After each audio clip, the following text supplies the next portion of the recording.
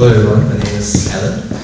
Uh, I also have slides, but it is that probably it's not too boring.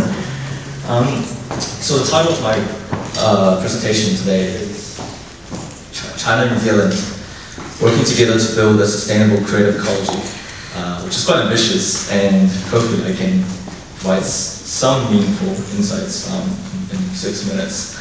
Um, so firstly, a bit of background about myself. Um, my own creative practice, as mentioned, uh, lies in um, creating uh, engaging narrative experiences.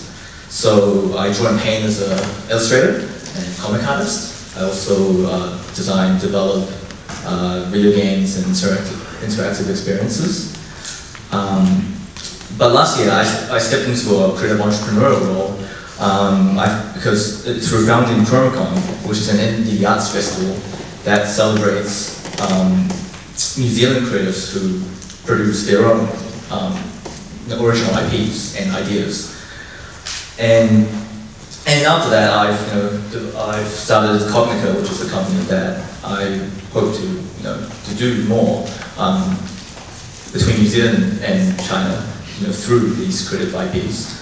Um, but as a, as a 1.5 generation uh, Chinese New Zealander, um, uh, I found uh, as an artist, uh, I sometimes I pretty much face the same kind of challenges as uh, both culturally as and artistically, and um, I've never really tried to, I guess, kind of make that um, definition between um, a uh, an Asian artist. Because I felt that you know I wasn't an Asian, a Chinese artist living in New Zealand. I was a New Zealand artist who had a multicultural background. So, um, so, so I'll go through some of the, my views on sort of our creative industry because I feel like it's, it's pretty much facing the same kind of challenges as, as, as a Chinese New Zealander. Um, so, oh, this is some of my work. Have went to this slide. Um, but throughout my artistic journey, I've always placed a huge focus on innovation and sustainability. And so while I worked a lot as a freelance artist, um, I was never content with simply being an outsourcer for other people's projects. So over the years, I've you know, I've uh, self-published art books and comic anthologies with, as part of an art collective. Um, but surprisingly, it's actually quite hard to engage with audiences in New Zealand, um, you know, in, in real life, as opposed to um, you know many around people around the world who access it through through through the internet. And it seems, in some respects, there is a distance between New Zealand creatives and the, the wider community. Um, a great example would be the fact that I'm sure you know most New Zealanders would, would know, um, know, know know the Lord of the Rings franchise, the films. But outside of Sir Peter Jackson and Weta Workshop, um, I think many would find it quite difficult to actually name any of the creatives uh, who, whose imagination actually filled these cinematic experiences. And and I think that's, that's, that's kind of a problem because you know a large portion of our um, commercial design, screen, and games industry um, is geared towards being a service provider for others. Um, and I think it's, it's quite hard to sustain that model because we, you know, we develop a dependency on public funding or incentives. Um, but with so much creativity here, it can, you know, it's, it's, artists should really develop a sustainable practice, you know, based on their own creative visions. So, um, a response to this, and um, it's also platform designed to connect artists with with the wider community through showcase of self-produced, you know, there's uh, illustration, comics, animation, uh, games, and many other forms of visual and interactive storytelling. Um, so the idea really is to promote innovation and sustainability, but there, but there was never from the outset any um, any focus on this particular genre or or medium or culture, especially. Um, but funnily enough, there are actually quite a lot of you know, Asian creators who are, you know, who have quite unique voices, you know, being sort of crossed through two cultural backgrounds. um, that took that were involved with with this uh, event. So why is it so hard for them to not not just Asian creators, but why is it so hard for museum creators to actually um, develop sustainable practice for themselves? And that was kind of question that you know I, I wanted to you know really explore. And the first thing for me was I wanted us to explore that internally uh, as a country. So you know for our, our community, must engage with you know our own creators first. Um, so that was a great success. We had 80 creators with 2,000 visitors um, in the span of one day, and we're currently planning the next event um, in April. But Chromacon was, uh, was just the beginning. Um, not only did Asian creators have to engage New Zealanders, um, our work must also be connected to the global industry um, and, and market because it's not enough to be just um, thinking, you know, that, well, we have a great um, environment, so let's just use that as a location backdrop. And if people come here to say do films, then we just provide services for them, and we start building this model of being, you know, high quality um, outsourcer, but outsourcer nonetheless.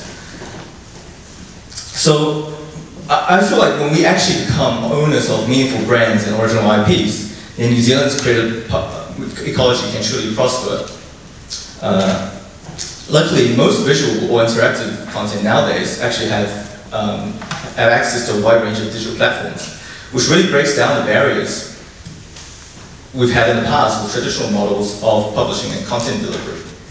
So what this means is now, we're now in the golden age of independent production, and the real challenge with Kiwi creators is to both develop fresh, and innovative ideas and finding the resources to take that first step.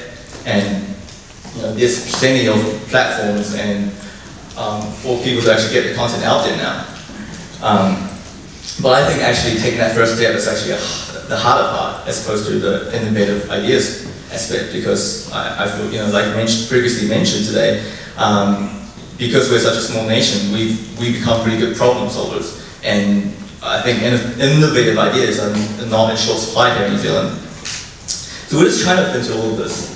Um, well, setting up between two countries as a 1.5 generation New Zealand Chinese, um, i I feel like, you know, over the years I've identified some of our differences, but also a lot of you know, areas of synergy and opportunity.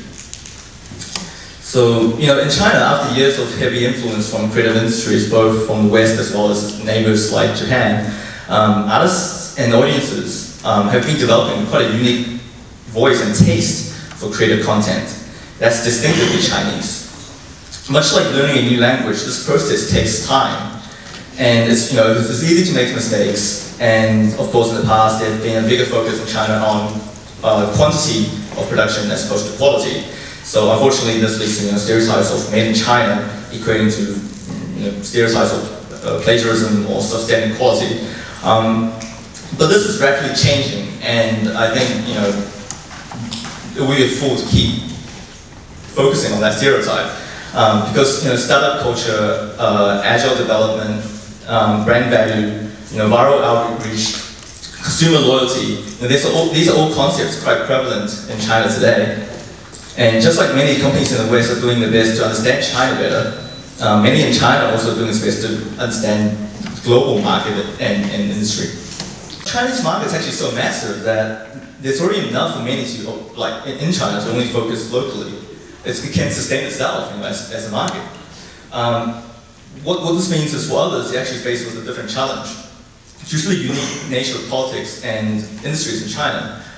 Um, it can be difficult for independent producers in China to, to and, and, startups to actually make an impact and challenge the big players and disrupt their market with innovative ideas. Um, but that certainly doesn't mean you know, these ideas and skilled people don't exist. So not only do they exist, they are actually, you know, many are actually actively trying to best, best outreach to audiences and consumers worldwide. Um, but and at the same time, here in New Zealand, you know, our industry and market is simply too small to continue remaining isolated or segregated. So the beauty of New Zealand isn't our, the, the natural beauty of New Zealand isn't our only advantage.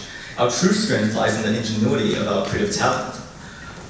And I feel our ecology needs a bigger and broader focus on long-term sustainability. And China needs more creative freedom and global outreach. Um, it's my genuine belief that if we spend more time developing an understanding of, of each other's culture, then a cultural market and creative needs, then you know, New China can truly develop a meaningful, meaningful future together. So um, I, I don't know, this, this synergy.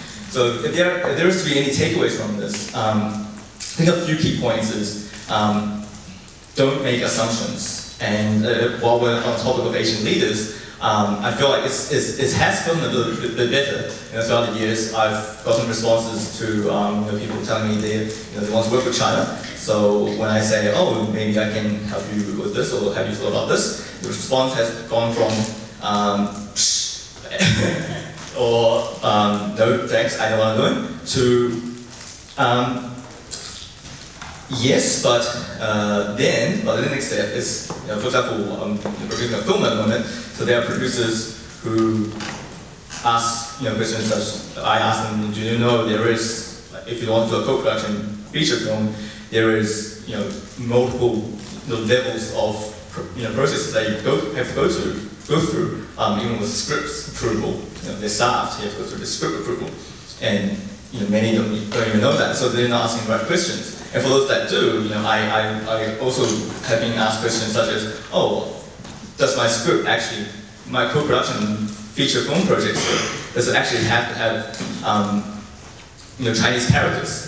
And these are the kind of questions that really shouldn't be asked but they, the are still being asked, and you know that's just an indication um, that you know I think it's still a lot of assumptions being made currently on how to work with China, and I think most, most probably main thing is don't make those assumptions, and we really should foster and support our creatives here in New Zealand, um, especially those with original ideas and visions, um, you know, in those with global thinking, because if we're able to connect better with Asian creatives, um, then we can really actually you know, develop some meaningful you know, results out of that. Um, and yeah, this is just one interesting thing actually. In the film industry, um, I was just, oh, last weekend I was at the Big Screen Symposium, um, which is like an industry, um, just a huge discussion panel. And one, one of the panels was on, so what was on uh, Maori films and what, how do you define that? Um, so, you know, who can make that? And I think the, the, the answers that came out of that was um, you can make a Maori film if you have the right kind of respect and authenticity. And I don't see in, so that kind of discussion being made around sort of, you know, how New Zealand and China work together, and I think that's a really good model because um, respect and authenticity, you know, it's, it's, a, it's, a really good starting point um, instead of you know, making assumptions and taking, taking things you know, in one direction only. So yeah, if we, um, as mentioned, if we work together more closely and build bridges from both sides, and as mentioned, meet, meet in the middle, then um, we can really build a more sustainable future together. Thank you.